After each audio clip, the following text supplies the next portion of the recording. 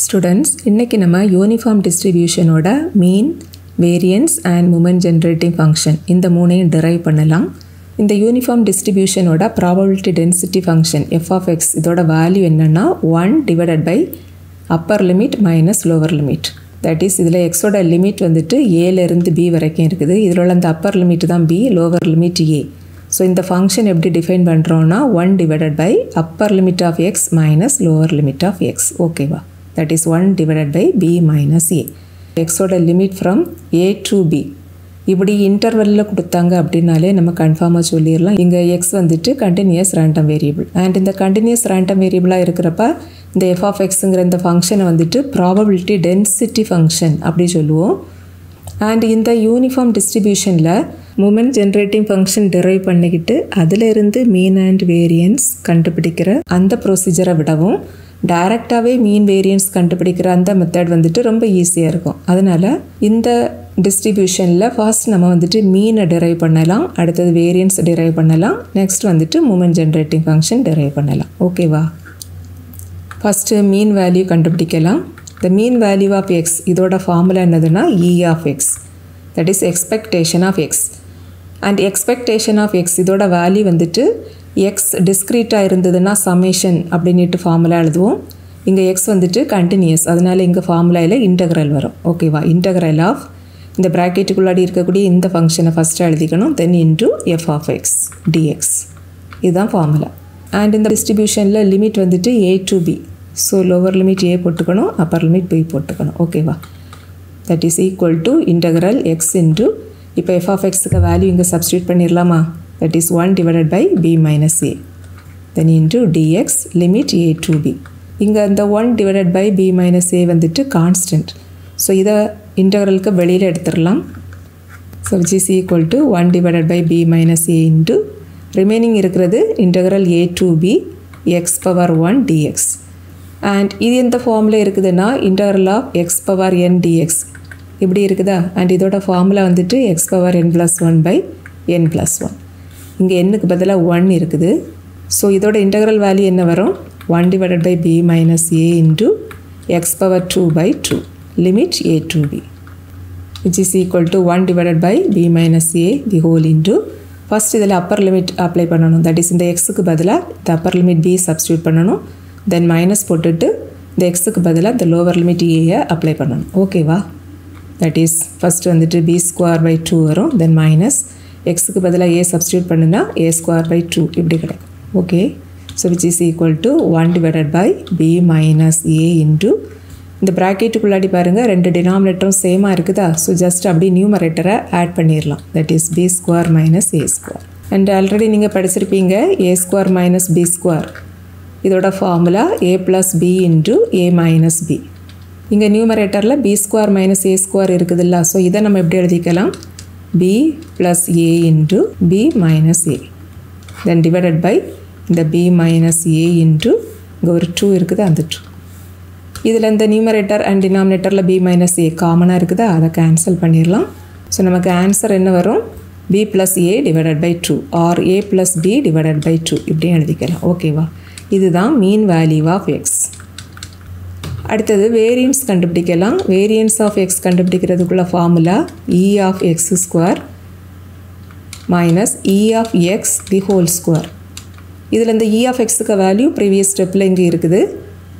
So நம்ம E of X ஸ்கொயருக்கு value மட்டும் கண்டுபிடிச்சிட்டோம் அப்படின்னா வேரியன்ஸ்க்கு வேல்யூவை ஈஸியாக கண்டுபிடிச்சிடலாம். ஓகேவா இதை வந்துட்டு இக்குவேஷன் நம்பர் ஒன்னுன்னு வச்சுக்கலாம். இப்போது இந்த இ ஆஃப் எக்ஸ் ஸ்கொயர் இதோட வேல்யூவை கண்டுபிடிக்கலாம். And E of X square இது கண்டுபிடிக்கிறது உள்ள ஃபார்முலா என்னதுன்னா இன்டகிரல் ஆஃப் இந்த ப்ராக்கெட்டுக்குள்ளாடி இருக்கக்கூடிய அந்த எக்ஸ் ஸ்கொயரை ஃபஸ்ட்டு எழுதிக்கிட்டு then into F of X dx that is equal to integral of x square into இங்கே f of x ஓட value 1 by b minus a into dx. And இங்கே x ஓட லிமிட் வந்துட்டு a to b. And இதில் 1 divided by b minus a constant so அதை நம்ம வெளியில் எடுத்துடலாம். Then remaining இருக்கிறது integral of x square into dx. எக்ஸுக்கு limit from A to B and already நம்ம பார்த்தோம் integral of X power N dx இதோட formula X power N plus one by N plus one இந்த ஃபார்முலாவை இங்கே apply பண்ணலாம். இங்கே எண்ணுக்கு பதிலாக என்ன இருக்குது? டூ தான் இருக்குது. ஸோ இதோட இன்டகிரேஷன் என்ன வரும்? One divided by B minus A the whole into X power three by three limit வந்துட்டு ஏ டு பி ஓகேவா அண்ட் அவுட் சைடில் ஒரு one by B minus A இருக்குது? அதை எழுதிக்கலாம். இப்போது இதில் அப்பர் லிமிட் அப்ளை பண்ணலாம். தட் இஸ் எக்ஸ் இருக்கிற பிளேஸில் பிஏ சப்ஸ்டியூட் பண்ணணும். அப்போ நமக்கு என்ன கிடைக்கும்? B cube divided by three then minus அடுத்தது lower limit A A apply பண்ணணும். அதுக்கு நம்ம எக்ஸ் இருக்கிற பிளேஸில் எல்லாம் ஏஏ கொண்டு சப்ஸ்டியூட் பண்ணிட்டா போதும். So A cube by three இப்படி கிடைக்கும். ஓகேவா இதோட வேல்யூ என்ன வரும்? One divided by B minus A into இந்த ப்ராக்கெட்டுக்குள்ளாடி ரெண்டு டினாமினேட்டர்லேயும் சேமான வேல்யூஸ் இருக்குதா? ஸோ ஜஸ்ட் அப்படி நியூமரேட்டரையும் ஆட் பண்ணிடலாம் that is B cube minus A cube divided by three ஓகேவா இதை மறுபடியும் சிம்பிளிஃபை பண்ணிக்கலாம்.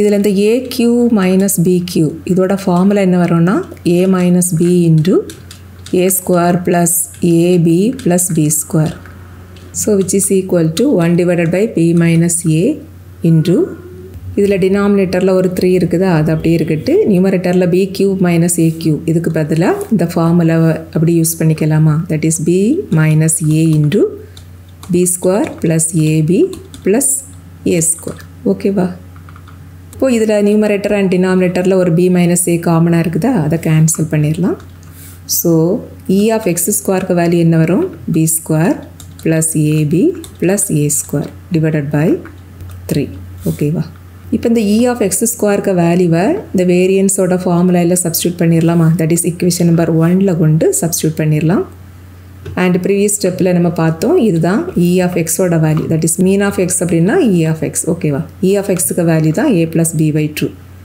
so இந்த இக்வேஷன் நம்பர் ஒன்னில் இ ஆஃப் எக்ஸுக்கு வேல்யூவையும் இ ஆஃப் எக்ஸ் ஸ்கொயர் இதோட வேல்யூவையும் கொண்டு அடுத்ததாக சப்ஸ்டியூட் பண்ணலாம். Therefore equation number one implies variance of x is equal to e of x square அதுதான் அங்கே ப்ரீவியஸ் ஸ்டெப்பில் இருக்குது. It is b square plus ab plus a square by three then minus e of x the whole square e of எக்ஸுக்கு value a plus b by two அதுக்கு square ஓகேவா that is equal to b square plus ab plus a square by three then minus இதில் பாருங்கள் இந்த நியூமரேட்டருக்கும் square உண்டு டினாமினேட்டருக்கும் square உண்டு. டினாமினேட்டரில் two இருக்குதா அதுக்கு ஸ்கொயர் எடுத்தோம்னா ஃபோராக மாறிடும் அண்ட் நியூமரேட்டர் வந்துட்டு a plus b the whole square அப்படி இருக்கும். A plus b the whole ஸ்கொயருக்கு formula a square plus two ab plus b square ஓகேவா இப்போ இதை அகெயின் சிம்பிளிஃபை பண்ணிடலாம். இதில் ரெண்டு டேர்ம் இருக்குதா. ரெண்டு டேர்முக்கு டினாமினேட்டரும் பாருங்கள் வேறு வேறு நம்பர்ஸாக இருக்குது. தட் இஸ் இது வந்துட்டு ஃப்ராக்ஷனில் இருக்குது. டினாமினேட்டர் டிஃப்ரெண்ட்டாக இருக்குது. ஸோ இப்படி ரெண்டு டேர்ம் ஃப்ராக்ஷனாக இருந்தது அப்படின்னா இதில் எல்சிஎம் எடுக்கிறதுக்கு பதிலாக இதை ரொம்ப ஈஸியாக சிம்பிளிஃபை பண்ணிடலாம். தட் இஸ் ஜஸ்ட் ரெண்டு டினாமினேட்டரையும் ப்ராடக்ட் பண்ணி டினாமினேட்டரில் எழுதிடணும். த்ரீ இன்ட்டு ஃபோர்னால் டுவெல் வரும். அப்புறம் அப்படி கிராஸாக மல்டிப்ளை பண்ணி நியூமரேட்டரில் எழுதணும். தட் இஸ் ஃபோர் இன்ட்டு இந்த numerator then minus three into this numerator okay that is four into b square plus ab plus a square then minus three into this a square plus 2ab plus b square. இப்போ இதில் இந்த ஃபோரை கொண்டு அப்படியே உள்ளாடி product பண்ணிடலாம். அதே போல் இங்கே இந்த த்ரீயை கொண்டு இங்கே உள்ளாடி ப்ராடக்ட் பண்ணிடலாம். ஓகேவா ஸோ என்ன கிடைக்கும்? Four b square plus four into ab plus four a square then minus of three a square plus six ab plus three b square divided by twelve இப்போ இதில் இங்கே ஒரு ஃபோர் பி ஸ்கொயர் டேர்ம் இருக்குது. இங்கே ஒரு minus three b square இருக்குது. So ரெண்டையும் add பண்ணுனா ஒரு டைம் பி ஸ்கொயர் அப்படி கிடைக்கும். அண்ட் அதே போல் இங்கே ஒரு ஃபோர் ஏ ஸ்கொயர் ப்ளஸில் இருக்குது அண்ட் இங்கே ஒரு மைனஸ் த்ரீ ஏ ஸ்கொயர் இருக்குது. ரெண்டையும் ஆட் பண்ணுனா ஒரு டைம் ஏ ஸ்கொயர் கிடைக்கும். நெக்ஸ்ட் இங்கே வந்துட்டு ப்ளஸ் ஃபோர் ஏபி இருக்குது. இந்த மைனஸ் அப்படி உள்ளாடி கொண்டு ப்ராடக்ட் பண்ணால் இங்கே மைனஸ் சிக்ஸ் ஏபி இருக்குது. ஸோ ரெண்டையும் ஆட் பண்ணுனா மைனஸ் டூ ஏபி அப்படி கிடைக்கும். ஓகேவா டினாமினேட்டர் வந்துட்டு டுவெல் அண்ட் இந்த நியூமரேட்டர் எந்த ஃபார்மில் இருக்குதுன்னா a square plus b square minus two ab இதோட value a minus b the whole square இந்த ஃபார்மில் இங்கே நியூமரேட்டர் இருக்குது. ஸோ இதை நம்ம எப்படி எழுதிடலாம்? B minus a the whole square then divided by twelve so இதுதான் வேரியன்ஸ் ஆஃப் எக்ஸோட value next moment generating function derive பண்ணலாம். இந்த மூமெண்ட் ஜென்ரேட்டிங் ஃபங்க்ஷன் கண்டுபிடிக்கிறதுக்குள்ள ஃபார்முலா என்னதுன்னா expectation of e power tx and expectation of any value இது கண்டுபிடிக்கிறதுக்குள்ள formula என்னதுன்னா இங்கே எக்ஸ் வந்துட்டு continuous random variable so integral of இந்த ப்ராக்கெட்டுக்குள்ளாடி இருக்கக்கூடிய இந்த வேல்யூவை first எழுதிடணும் then into f of x dx that is integral of e power tx into இங்கே f of x ஓட value 1 by b minus a then into dx. And x க்கு limit a to b. இதில் 1 by b minus a constant. So அதை இன்டகிரலுக்கு வெளியில் எடுத்துடலாம் then remaining இருக்கிற term e power tx then into dx integral limit வந்துட்டு ஏ to B and இங்கே இன்டகரலுக்குள்ளாடி இருக்கக்கூடிய ஃபங்க்ஷன் எப்படி இருக்குது பாருங்கள் இ பவர் ஏஎக்ஸ் அப்படி இருக்குதா? And integral of e power ax dx இதோட formula e power ax divided by இந்த constant so which is equal to one divided by b minus a into இங்கே ஏக்கு பதிலாக டி இருக்குதா? So integral of e power tx இதோட value e power tx divided by t and limit a to b which is equal to 1 by b minus a the whole into first இங்கே upper limit apply பண்ணணும். That is X இருக்கிற பிளேஸில் இந்த BA substitute பண்ணணும். அப்போ நமக்கு என்ன கிடைக்கும்? E power t into b or e power bt எப்படினாலும் எழுதிக்கலாம். Okay divided by t then minus அடுத்தது லோவர் லிமிட் அப்ளை பண்ணணும். தட் இஸ் எக்ஸ் இருக்கிற பிளேஸில் ஏ சப்ஸ்டியூட் பண்ணணும். அப்போ நமக்கு என்ன கிடைக்கும்? E power t into a இந்த டிஏஐ ஏடி அப்படின்னு எழுதிக்கலாம் டிவைடட் பை டி ஓகேவா so which is equal to one by b minus a into இந்த ப்ராக்கெட்டுக்குள்ளாடி ரெண்டு டேம் இருக்குது பார்த்தீங்களா? ரெண்டு டேமுக்கு டினாமினேட்டரும் டி தான். ஸோ அப்படி கம்பைன் பண்ணி எழுதிடலாமா தட் இஸ் டினாமினேட்டரில் டி சப்ஸ்டியூட் பண்ணிவிட்டு நியூமரேட்டர் அப்படி எழுதிடலாம் that is e power bt minus e power at இதுதான் மூமெண்ட் ஜென்ரேட்டிங் ஃபங்க்ஷனுக்கு வேல்யூ அதை நம்ம சிம்பிள் எப்படி எழுதலாம்னா எம்எக்ஸ் ஆஃப் டி ஓகேவா